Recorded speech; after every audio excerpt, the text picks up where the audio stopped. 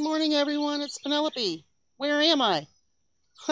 well, I am behind the camera today, and I'm going to take you a little tour of my place. Here we go. So that's normally where I sit. I'm sitting underneath that tree, and there's my little smokehouse door. I'm going to go above all the stuff now I'm going to let you know that we did tear a bunch of stuff out of this back end, so it is a little junky, but we're getting ready to put our chicken coop in here. Okay, so let's look right here. Uh, I don't know, I can't hardly see this. So anyway, this is going to be where our chicken coop goes. There's some jars we're going to move over. What I'm going to do is I am going to divide the chicken house. This side is going to be our stuff and our feed. This side is going to be the chicken house. So let me get in a position to where I can show you exactly what's going on. Okay, this is the back of the building. As you can see, it needs a lot of work, but we're going to reinforce some of the, the side. They're going to have a side door out the side of the building. Oh, there's Cleo. Now, let's see here. This here is going to be where their pen's going to be. It's going to come, where is my hand yet? Uh, I don't see, okay, there I am. Okay, so it's going to go right through here, right around where she is, and they're going to have a really nice lot.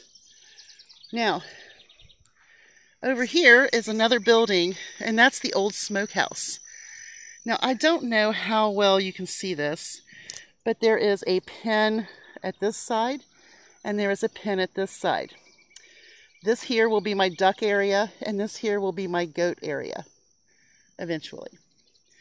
Now let's look around here. Big tree. All right, let's keep going. This place is so grown up, you really can't see what's going on. That there is my catalpa tree. Oh, it's just beautiful. I love it. It makes a great shady area. Okay, now we're in this little shady area here. we're going up. Now, nothing is mowed. So this is why we're going to do the goats.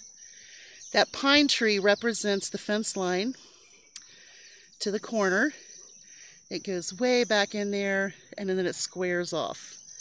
So this is quite a bit of property. You really can't see it because it really needs some work. So putting goats in here is going to be fantastic to clean it up. I really wish you could see the property as I could, that I know it. And then of course we can't see anything else back through there. That was a quick view of a little bit of my property.